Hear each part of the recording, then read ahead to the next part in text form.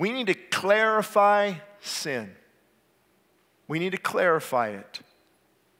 Here's what it, I actually had a pastor in town, going to tell you it is, or the church. He lectured me because I'm too specific in my sermons when I call out certain movies Game of Thrones, Twilight, witchcraft. He goes, No, no, no. You, people, that will offend them. You need to just be broad and talk about entertainment in general. See, the problem is if I do that, nobody thinks it's them. They think, oh, yeah, I don't watch that. No, you, you call it out. You name it. You get specific. You go right to the heart. You, you, you clarify. You don't send mixed messages.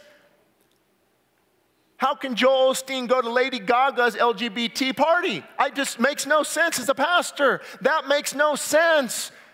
But we have to relate to them. Yes, you have an after party party and you say, now you're coming on my terms. Let me tell you about the gospel. If Lady Gaga was my friend, she's not, don't, but if she was, I wish she was, maybe she'll hear this. I would say, hey, Shane, can you come to this party? No. You know what I stand for?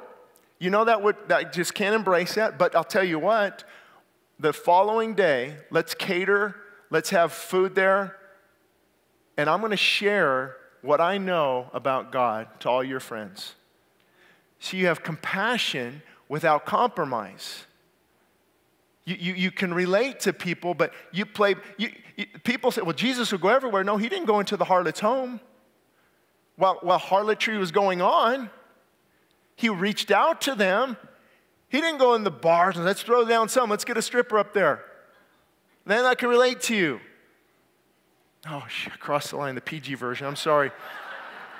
But no, let's be real. Let's be honest. We have to clarify sin. We have to stop compromising the gospel. We stand as a light. We stand as a beacon of light. We love you. We hope for you. We pray for you. But we will not compromise the truth. And if something puts me in a compromising position while I'm validating sin, I have to step back because I have to answer to my Savior, not answer to a lost and dying world that is hell bent on rejecting God.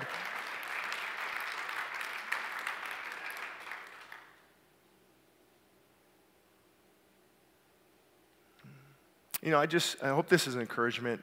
No matter what sin a person is struggling with, they often say, But I was born this way. It's how God made me.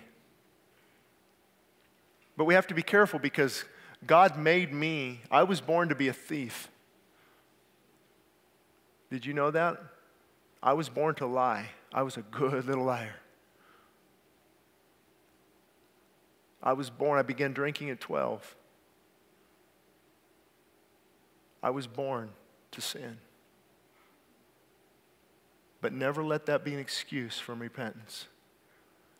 We were born into sin. In sin, we were conceived.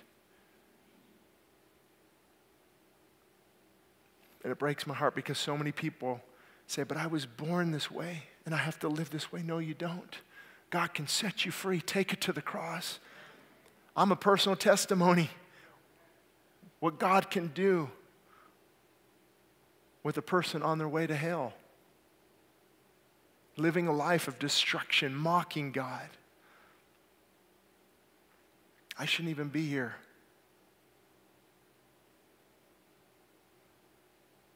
I would get drunk, I would snort crystal meth, I would smoke marijuana, and then I'd shoot up steroids just for the fun of it.